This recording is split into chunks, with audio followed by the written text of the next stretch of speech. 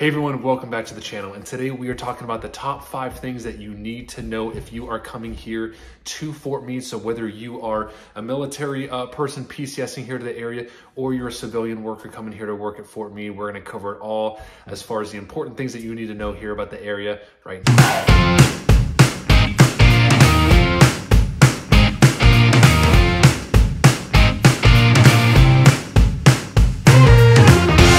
Hey everyone, welcome back to the Living in Maryland channel where we discuss all things living here in the great state of Maryland. So if that's the kind of information that you are looking for, then you are definitely in the right spot and we really, really appreciate you being here. And if you are thinking about making a move here to Maryland, if you're wondering whether purchasing a home is the right move for you and your family, I am a licensed realtor here in the state of Maryland and we absolutely love having conversations around home purchasing and kind of the logistics and what that looks like and if it's the best move for you. So however you feel most comfortable reaching out, whether that's by phone, text, or email, days, nights, and weekends, we've got your back when moving here to the great state of Maryland.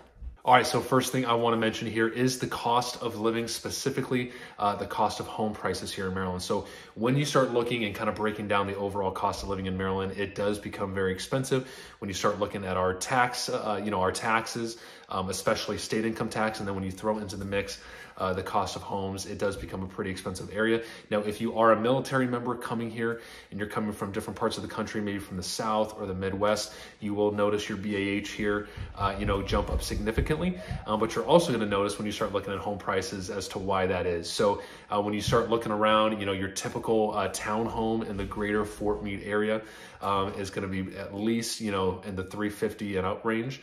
Um, a lot of them are going to jump into the 400 range, and then your single families are usually going to start at a minimum around 500 and then go on up from there. So um, being prepared for the cost of living, especially home prices, is something to be prepared for and something to expect and can kind of help ease the blow uh, when you start planning your move here to the Fort Meade area. Now, when it comes to home prices, it's hard to give, uh, you know, specifics and, and, averages can be a little misleading. Home prices can vary a lot. If you're talking north of Fort Meade, you're talking more of a market tied to Baltimore. If you're talking south of Fort Meade, you're going to get more into kind of the greater DC market. Um, and then schools can, can, you know, vary when it comes to ratings uh, here in the area. So if you want to talk about specific areas, if you want to get more specifics in regards to home prices, feel free to reach out anytime. All right, number two thing to be aware of is the weather here in Maryland. Um, so I'm from Southern California originally, so moving here uh, about eight years ago. Uh, my wife grew up here. Uh, she's a local, so we've been here about eight years now, raising our two kids and our family here, calling it home for the long haul. Um, but it was definitely a big shock. It was, you know, coming from Southern California, the weather was a lot different here. Um, but I have to say, it's, you know, it's, I think it's kind of the best of kind of both worlds when it comes to pretty mild weather and then getting to experience all four seasons. So Maryland really does have it all when it comes to all the seasons. We have a ton of trees here, so fall is beautiful, spring is beautiful, and you get to experience a little bit of winter in there as well.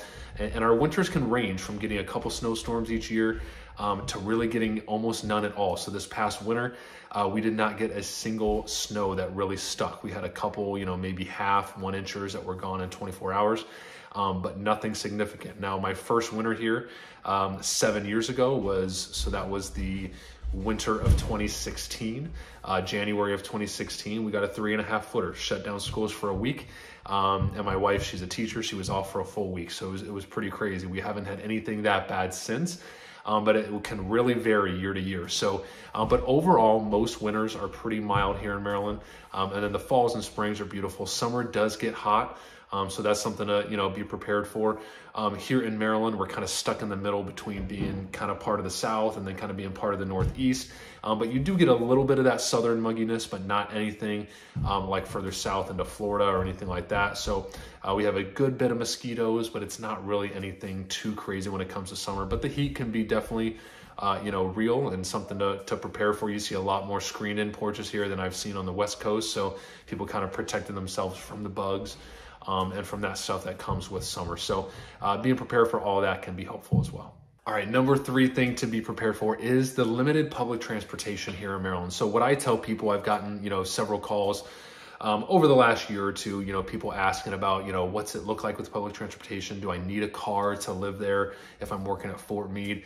Um, and really, uh, the short answer is yes. This is uh, to live in this area. It's a very drivable area. Like you have to have a car to, to really be able to get around. Now you do have access to the MARC train, which can get you down to DC. It can get you into Baltimore, um, which is definitely nice, but it's not something that's uh, super, super accessible. You don't see a ton of public transportation in the area. So if you are wondering if you're gonna need a car here when you're coming to Fort Meade, Maryland, I would say the answer is yes. All right, number four is that Fort Meade is very centrally located. It's close to a lot of different things. So there's a lot of different things to do, whether you're a single person, whether you're a family person.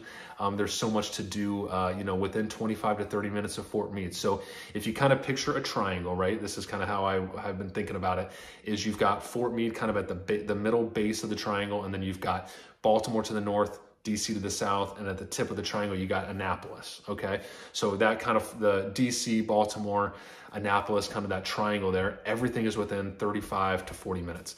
Uh, Annapolis is a little less, but you have so much to do. Those two metros of Baltimore and DC, so close, such a short drive. And then you've got Annapolis, the capital of Maryland, where you've got access to the, uh, you know, the, the Chesapeake Bay. You've got great restaurants, great downtown scene down there, um, and so much to do between those three areas and such a short drive. So uh, if you're coming to Fort Meade, uh, you know, you don't have to worry about things to do. You don't have to worry about having access um, to shopping, to really good restaurants, and to a lot of fun things to do. Um, you're definitely gonna have that covered here at Fort Meade. And then just a little bonus as far as things to do and being close to things in Fort Meade is Columbia. Columbia is only about 25 minutes away. It's been a huge um, and a big growing area over the last, uh, I'd say, you know, 10 to 15 years. Um, it's got a really, you know, expansive kind of downtown area. It's super um, I would say it's definitely, you know, really suburban, but they've really grown the urban kind of downtown part of Columbia. Um, so it's, you know, kind of a, an extension of Baltimore. It's about 20, 25 minutes out from Baltimore and it is a suburb of Baltimore, um, but it's pretty centrally located between DC as well. Um, and it's just got a lot to do. So, you know, if you want to consider, you know, that as an area to live or just knowing that you have that close by and just a ton of restaurants and a ton of, you know, things to do in Columbia as well, that's also helpful to know. All right, last but not least is I want to speak to traffic as far as what to expect when coming here to the Fort Meade general area. Um, so traffic can vary. So if you go north uh, of Fort Meade, northwest specifically is more kind of Baltimore, Howard County. So depending on where you're going to live is going to kind of determine how the traffic's going to be. So if you're kind of north of Fort Meade, it's not too bad. You're definitely going to have your typical traffic um, during rush hour. So that's something to, you know, definitely be aware of. But outside of that, it moves very, very well. Um, nothing really on the weekends, nothing too, you know, late in the evenings or anything like that. You know, in the middle of the day, not really much traffic at all. Now, once you go south of Fort Meade, you start getting into basically DC. So um, you've got a lot of Maryland that kind of straddles DC uh, you know, Prince George's County, Montgomery County, those kind of areas. Even Anne Arundel County kind of, you know, stretches down that way. Um, so the traffic gets a lot worse down there. So if you are going and considering living south of Fort Meade, just be prepared for heavier traffic. So you've got 50 there that cuts uh, east and west, uh, and you know west into DC, and then 495 is DC's Beltway, which is you know no joke traffic. Is kind of how I describe it to people. So uh, just being prepared for that. If you are someone who is looking to stay out of traffic, if you don't like messing with that, I would try to stay north of Fort Meade, um, and that's going to give you the best opportunity to kind of the traffic that is here in Maryland. All right, everyone, that's what I got for you today. If you ever have any questions about moving here to the area, please feel free to reach out anytime, and we will see you at the next video.